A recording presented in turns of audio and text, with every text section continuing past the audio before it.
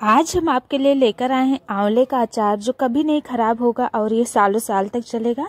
आप इसे एक बार सीज़न में बना के रख लेंगे और बिना सीज़न में भी आप इसे खा सकते हैं आराम से।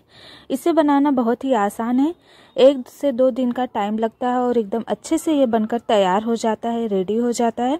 आप इसे तुरंत भी खा सकते हैं और आप इसे सालों साल तक रखकर भी खा सकते हैं। तो चलिए वीडियो को स्टार्ट करते हैं। सबसे पहले यहाँ पे हमने लिया है तीन से चार के जी आंवला, इसे अच्छे से धुल लिया हमने।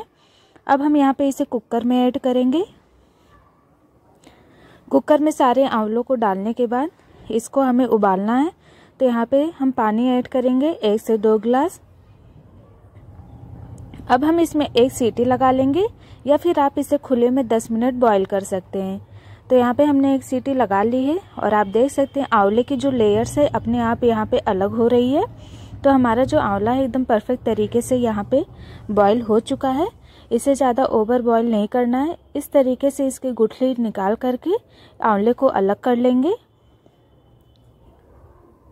तो यहाँ पे हमने सारे आंवलों की गुठलियों को अलग कर लिया है।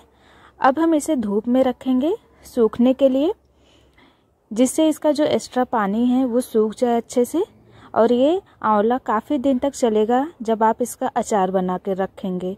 तो इसीलिए यहाँ पे इसे धूप में सुखाना ज़रूरी है। तो अभी ठंडी में हल्की धूप हो रही आप इसे एक दिन पूरा धूप दिखा सकते हैं। तो हमने यहाँ पे एक दिन पूरा धूप दिखाया है और आंवले का जो पानी है वो अच्छे से सूख चुका है। आंवले हल, हल्के हल्के ड्राई हो चुके हैं। अब हम यहाँ पे मसाले तैयार करेंगे। तो कढ़ाई गर्म होने के बाद यहाँ एक चम्मच हम जीरा लेंगे। जीरा हल्का भून लेंगे, क्योंकि इसे भूनने में थोड़ा टाइम लगता है। अब हम यहाँ पे ऐड करेंगे एक चम्मच मेथी। मेथी ज़्यादा ऐड नहीं करना है, इससे हल्का तीखा टेस्ट आने लगता है। फिर यहाँ पे ऐड करेंगे तीन से चार चम्मच हम सरसों। सरसों बहुत इंपॉर्टेंट है, इससे काफ़ी अच्छा फ्लेवर टेस्ट आता है। दो चम्मच यहाँ पे साबुत धनिया ऐड करेंगे। दो चम्मच यहाँ पे सौंफ ऐड करेंगे। फिर यहाँ पे एक चम्मच हम अजवाइन ऐड करेंगे।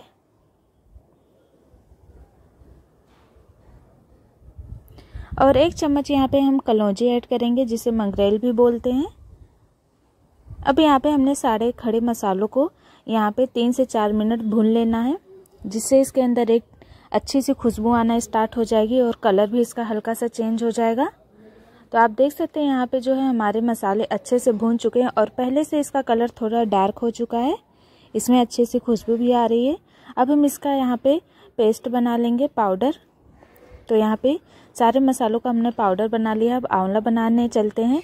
तो यहाँ पे हमने सौ से डेढ़ सौ एम सरसों का तेल लिया है। तो इसे सरसों के तेल में ही बनाएँ। इससे काफ़ी अच्छा टेस्ट आता है। अब यहाँ पे तड़का लगाने के लिए एक चम्मच हम मेथी दाना का तड़का लगाएँगे। इससे काफ़ी अच्छा टेस्ट आता है तो आप मेथी दाना का तड़का ज़रूर लगाएँ। अगर आप चाहें तो हींग भी ऐड कर सकते हैं, उसका फ्लेवर पसंद हो। थोड़ा सा हम यहाँ पे करी पत्ता भी डाल रहे हैं तड़के में। अब यहाँ पे तीन से चार चम्मच बड़े हम लहसुन का पेस्ट ऐड करेंगे, इसे हमने दरदरा पेस्ट बना लिया है। तीखे के अकॉर्डिंग यहाँ पे हमने हरी मिर्च लिया है, दो से तीन चम्मच। दो चम्मच यहाँ पे हमने अदरक का पेस्ट लिया है। इन सारे मसालों को एक से दो मिनट अच्छे से भून लेना है, जिससे जो मसालों का कच्चापन का टेस्ट है वो निकल जाए। तो यहाँ पे एक से दो मिनट हो चुके हैं और हमारा जो अदरक, लहसुन और हरी मिर्च का पेस्ट है, वो भून भी चुका है अच्छे से। अब हम यहाँ पे दो चम्मच कश्मीरी लाल मिर्च ऐड करेंगे कलर के लिए, क्योंकि इसमें तीखापन नहीं होता है। कलर काफ़ी अच्छा लगेगा देखने में और एक चम्मच यहाँ पे हल्दी पाउडर ऐड करेंगे। इन सबको अच्छे से मिक्स करके पका लेना है मसालों को। इसी टाइम हम यहाँ पे नमक भी ऐड करेंगे टेस्ट के अकॉर्डिंग तो यहाँ पे हम नमक ऐड कर दे रहे हैं टेस्ट के अकॉर्डिंग अब इन सारे इंग्रेडिएंट को अच्छे से यहाँ पे मिक्स कर लेंगे. और हमारे तड़का मसाले वाला तैयार हो चुका है. अब हमने जो आंवला सुखा करके रखा था, उसे अब यहाँ पे ऐड करेंगे. आंवले को यहाँ पे ऐड कर देना है. तो आप देख सकते हैं आंवले में बिल्कुल भी मॉइस्चर नहीं है. इसे हमने धूप में सुखा लिया था. अगर आपके यहाँ तेज़ धूप है तो आप इसे चार से पाँच घंटे सुखा सकते हैं। नहीं तो आप एक दिन इसे पूरा धूप में रहने दें, दूसरे दिन इसका अचार बनाएँ। तो यहाँ पे सारे आंवलों को ऐड कर दिया है। अब मसालों के साथ इसे मिक्स कर लेना है। और इसे तीन से चार मिनट कम से कम हम यहाँ मसालों के साथ इसे पकाएँगे आंवले को, जिससे जो आंवले में थोड़ा बहुत पानी हो, अच्छे से सूख जाए और मसालों के साथ आंवला भी भुन जाए, अच्छे से। तो यहाँ पे आप देख सकते हैं, तीन से चार मिनट हो चुके हैं और एकदम अच्छा सा कलर भी आ चुका है आंवले पे। इसे हम मिक्स कर लेंगे एक बारी। फिर यहाँ पे हम ऐड करेंगे जो हमने खड़े मसालों का पाउडर बना करके रखा था, इसे यहाँ पे ऐड करेंगे। इसे डालने के बाद इन सबको अच्छे से मिक्स कर लेना है। मिक्स करने के बाद अब हम इसे ज़्यादा देर नहीं भुनेंगे, क्योंकि जो मसाला हमारा है वो पहले से भुन करके पक चुका है। तो यहाँ पे अब ज़्यादा टाइम नहीं लगेगा। बस इसे आपस में अच्छे से मिक्स कर लेना है और एक मिनट इसे अच्छे से पका लेना है, जिससे जो हमारे साबुत मसाले हैं, उनका फ्लेवर भी अच्छे से आना स्टार्ट हो जाए। और हमारा आंवला जो है, बनकर तैयार हो चुका है।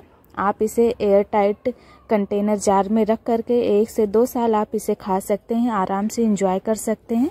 तो यहाँ पे आंवले का अचार बनने के बाद हमने इसे ठंडा होने के लिए छोड़ दिया था। तो अचार जो है हमारा अच्छे से एकदम ठंडा हो चुका है और आप इसका कलर भी देख सकते हैं कितना ही ज़्यादा ये टेस्टी लग रहा है देखने में। तो हमने यहाँ पे एक, एक कांच का जार लिया है। जार को अच्छे से धुल करके इसे सुखा लेना है इसमें एक भी पानी नहीं रहना चाहिए। अब हम यहाँ पे आंवले के अचार को ऐड करेंगे जार में।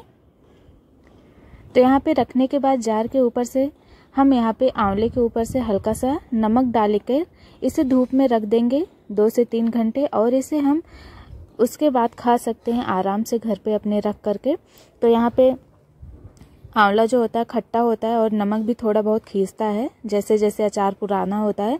तो ऊपर से हमने नमक डाल दिया है, इससे काफ़ी दिन तक अच्छे से स्टोर होके रहेगा, ख़राब भी नहीं होगा। और नमक जो है हमारा दो से तीन दिन में गल जाएगा तो आपको पता भी नहीं चलेगा ऊपर से नमक डला था। इसे धूप में रखने के बाद आप इसे स्टोर करके और तुरंत से खाना इंजॉय कर सकते हैं। एक दिन